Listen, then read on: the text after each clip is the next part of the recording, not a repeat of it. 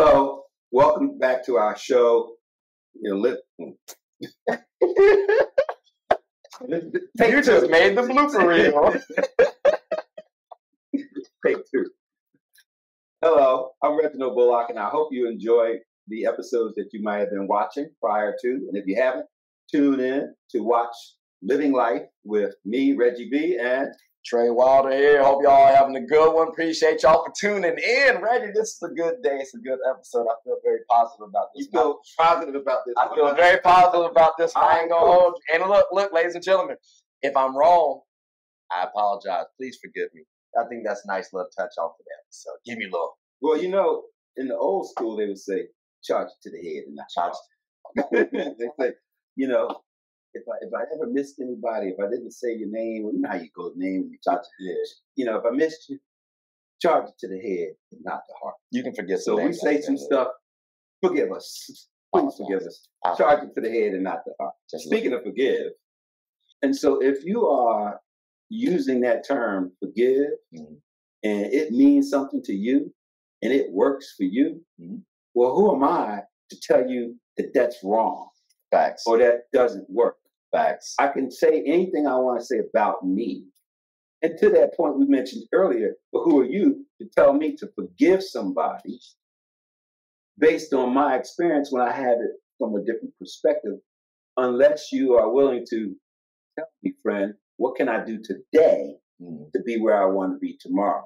Mm-hmm. But you got to get in there and show me and everything else. And so because if I don't understand that word forgive the same way you understand that word forgive, you telling me to be like Guten Tag or Buenos Dias or Como está or Assalamu alaikum, mm. you know, or Buongiorno or Jumbo. Now I just said hello in many different languages. Mm. If you don't know those languages, then you don't know what I just said. Right. You know, if I said Assalamu alaikum rahmatullahi wa barakatuh, if you don't, you're like, what the heck did you just say? That's the same thing as I say to you, you need to forgive. Mm. Because you don't understand what the word really means. Facts. If you don't understand the word really means, then you don't understand. Facts. So I think therein lies where so many people are not as um, cognizant of the impact of saying to somebody, you need to forgive yourself or you need to forgive them.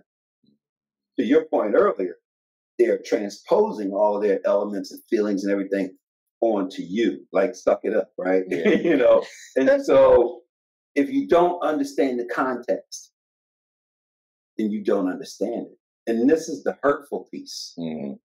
Because there are so many people hurt. If, it, if I mean, that's the whole purpose of forgiveness is to move from negative to positive. Yep. So you can feel that, right? And so if you don't understand that word or mm. all of the things associated with it, then you're on a journey and you're not there yet. Yeah. But I think that about closes off the show. We apologize for having to end it though. You know, see what we did there. yeah, I'm sorry. Well, Carol Burnett, you know she I don't actually. Of course not, man. She'll have to be your great great grandmother. Yeah. She was a comedian and at the end of her show, she would say something to the tune of, I'm so glad we had this time together just to laugh and sing a song or two. And before you know it, comes the time you have to say so long. Anyway, they made a whole thing that every time they closed the show, that there was that jingle and the cast would come together and sing that. That's funny. So we got to figure out what we're going to use to close the show. Might try to do that. Might try to come up with a little jingle. What do you say with, for your Get a Bucket show? Please like, subscribe, comment, tell anyone who's anyone about the show. My name is Tré. My name is Tré. This is Reggie. We're the host of Just Living Life. so hope you all had a good one and uh, take care.